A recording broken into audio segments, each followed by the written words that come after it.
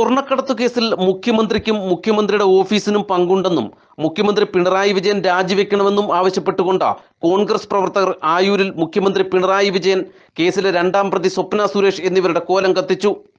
ഇടമുളയ്ക്കൽ മണ്ഡലം കമ്മിറ്റിയുടെ നേതൃത്വത്തിലാണ് പ്രകടനമായി എത്തിയ കോൺഗ്രസ് പ്രവർത്തകർ കോലം കത്തിച്ചത്.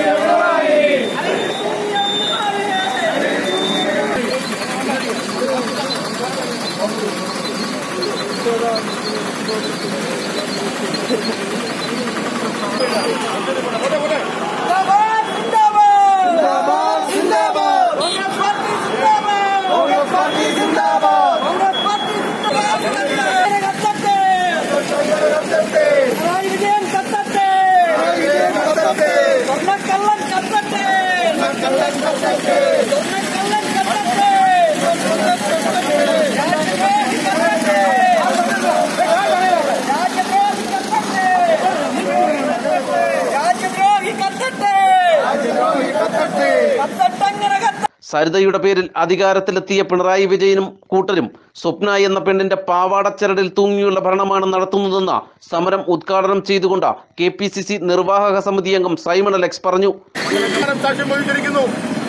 ഈ കൊള്ളയ്ക്ക് കൂട്ടുനിൽക്കുന്ന ആളുകൾ മുഖ്യമന്ത്രിയുടെ പ്രിൻസിപ്പൽ സെക്രട്ടറി ശിവശങ്കർ ഉൾപ്പെടെയുള്ള ആളുകളെ ഓഫീസിൽ നിന്ന് മാറ്റുന്നതല്ലാതെ ഒരു സത്യസന്ധമായ അന്വേഷണം നടത്താൻ കേരളത്തിന്റെ മുഖ്യമന്ത്രിയോ ഭരണാധികാരികളോ തയ്യാറാകുന്നില്ല.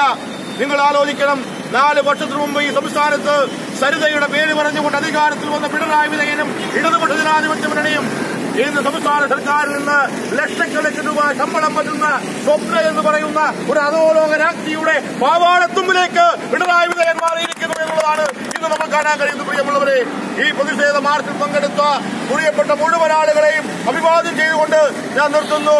കോൺഗ്രസ് നേതാക്കളായ പ്രേംരാജ് കടയിൽ ബാബു ലിജു ആലുവിള ആയൂർ അശോകൻ കോടിയാട്ട് പ്രസാദ് അമ്മിണി രാജൻ എന്നിവർ സമരത്തിന് നേതൃത്വം നൽകി.